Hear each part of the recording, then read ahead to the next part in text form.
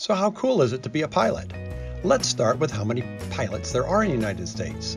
If you decide to become an FAA certificated pilot of any type, you are going to be part of an elite group. Let's look at how elite.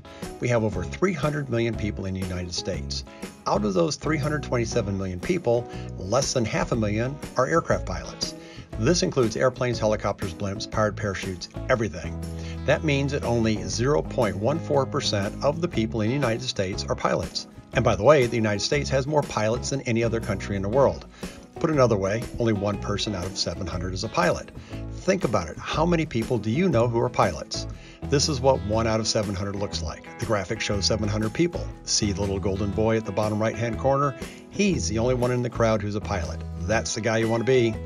Please subscribe for more information about becoming a pilot.